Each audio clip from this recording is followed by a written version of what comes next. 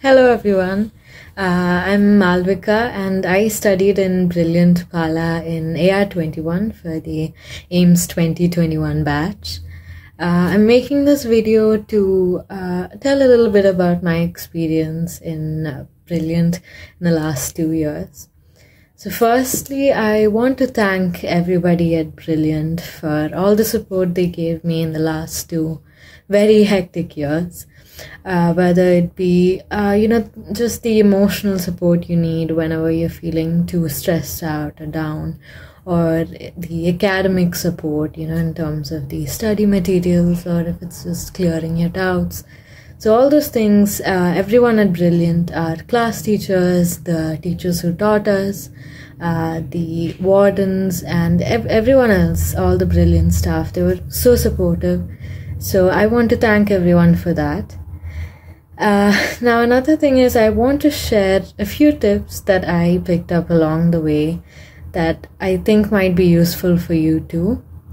So, one of the things is to limit your study material.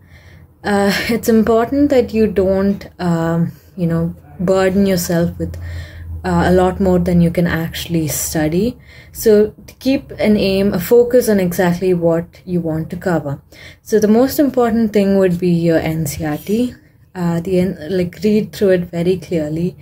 Uh, and the second thing is the notes that your teachers will give you.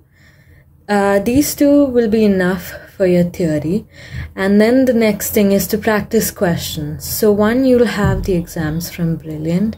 Uh, then second thing you can uh, what i used to do is uh, in the brilliant study material there were two books that were a uh, collection of past year uh, questions so there's one for physics and then there's one for chemistry so you can do these questions along with the chapters as you study them and that'll help you a lot and another thing, uh, yeah, revising the exam questions will also help you.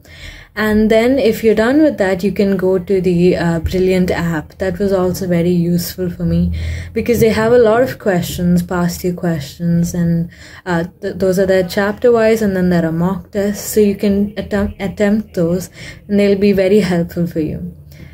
Uh, so that was the first point. Now, the second thing I want to tell you uh, is that when you read through your NCERT, it's good to uh, note down points, like the most important points. What I used to do is uh, on the very first page of the chapter in the NCERT textbook, I would write down these points so that in case I don't have the time to go through the whole chapter once again, Reading through those points will be sufficient, and then I should be ready to move on to questions. So, doing that will be very helpful, especially in the last few weeks before your exam, your actual exam, because you just need to read through that, those and then you're ready to go for questions.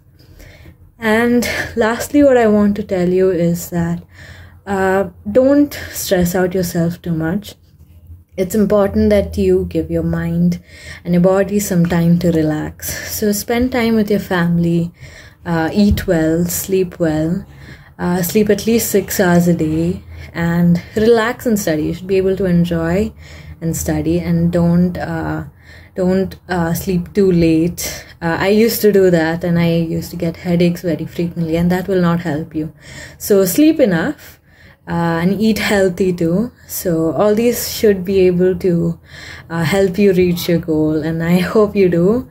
Uh, so, all the best to all of you writing the exam. Thank you.